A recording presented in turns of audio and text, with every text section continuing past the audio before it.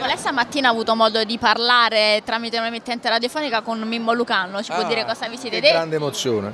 E vabbè, penso che la- si può anche andarla ad ascoltare perché per me è stata una grande sorpresa e voglio ringraziare CRC perché non me l'aspettavo con Lucano, con Mimmo, ogni tanto ci sentiamo via Whatsapp, ci telefoniamo, però avere la sorpresa che lui stava in viaggio verso la sua terra e ci siamo sentiti e ci siamo scambiati l'affetto che non mancherà mai e le lotte che faremo insieme per il nostro mezzogiorno. Ecco, sono due storie anche diverse, molto diverse, quella mia e quella di Mimmo, ma con dei punti di contatto importanti, soprattutto nel cuore, nell'umanità, nell'amore per le nostre terre. È per l'amore delle nostre terre che sconfiggeremo la criminalità organizzata e ogni forma di corruzione.